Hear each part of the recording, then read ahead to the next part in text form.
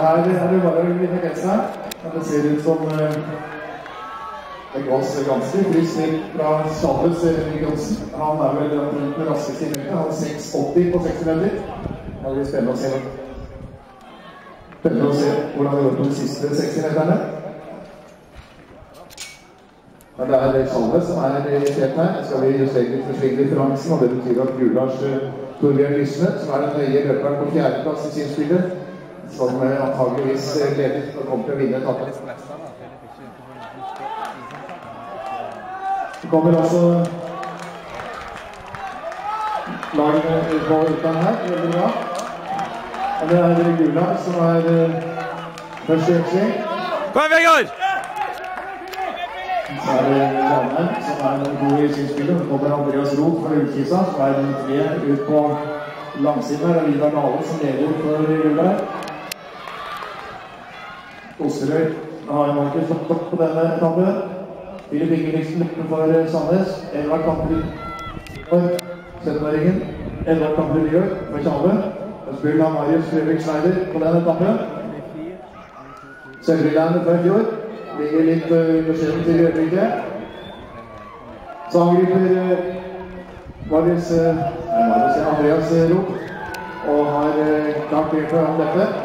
Det er som ventet. Utvisa er favoritten her nå. Elias Ottesen overtar. Sondre Dingsør Skogen med lovende Kom igjen, Johannes! til Gulag, som er utrolig spennende talent. Holder tredjeplassen nå. Veldig Borge for Osterøy, Joakim Sandnes for Sandnes der borte.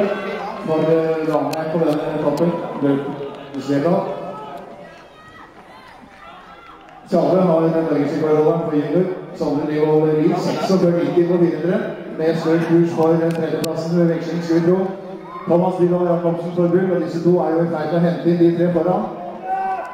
Ullkisa holder unna. Strålende løping her er Elias Ottesen, som er i ferd med å få et løft her nå. Kommer Sondre Nilsen Skogen med en skikkelig avslutning, og bak kommer Sondre En Thomas Roth skal avslutte for Ullkisa, og da skal vi ikke greie å rote bort dette. med Berlin, det er 800 meter som gjør at fra seieren her. Alexander Bergstrøm Winger har fint utgangspunkt for Tjaller. Marius Martin Støgle løper for Sandnes. Martin Løftos Fossa for Åsmøy der borte. Ranheim er Lange Henrik Nilsen og Bull her på toppen. Stafettspesialisten Kristian Berg. Men det er Utkisa og Gullar i tet der nede. Og det kjøres knallhardt. Det er moro. Dette er de to beste 800 meter-løperne i, Norge. 1,46 har legget på løpet. Og hvem er raskest? Det er Thomas Roth. Først ut og først inn. Eller hun? Ja. Blir den andre Ullkisa-seieren i dag. Thomas vinner dette for Ullkisa. 3.14. Sandnes godt opp på tredjeplass her. Salve fire, Osterøy, Gull, Ranheim.